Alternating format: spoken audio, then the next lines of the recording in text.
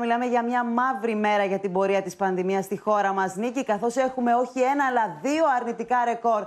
15 νεκροί καταγράφηκαν μόλις το τελευταίο 24ωρο. Η Ελλάδα θρυνεί αυτή την ώρα που μιλάμε 549 θύματα από την πανδημία, ενώ έχουμε και νέο αρνητικό ρεκόρ κρουσμάτων με 882 κρούσματα Χθε ήταν το προηγούμενο αρνητικό ρεκόρ με 865. Αυτή την ώρα που μιλάμε, νίκη 90 ασθενείς είναι διασωληνωμένοι στις μονάδες εντατικής ε, θεραπεία. Τα νέα μέτρα είναι μονόδρομος όπως φαίνεται. Θα τα ακούσουμε σε λίγο από τον Πρωθυπουργό. Σύμφωνα με τις πληροφορίες μας, πριν από λίγο ολοκληρώθηκε η τηλεδιάσκεψη των ειδικών του Υπουργείου Υγείας. Εισηγούνται λοιπόν μέτρα Ποια είναι αυτά στις πορτοκαλί περιοχές να, να επιβληθεί η υποχρεωτική χρήση της μάσκας παντού ναι. και σε εξωτερικούς mm χώρους. Να θυμίσουμε ότι η Αττική και η Θεσσαλονίκη ανήκουν στις πορτοκαλί περιοχές. Ενώ και απαγόρευση κυκλοφορίας μία με πέντε τα ξημερώματα. Ανα...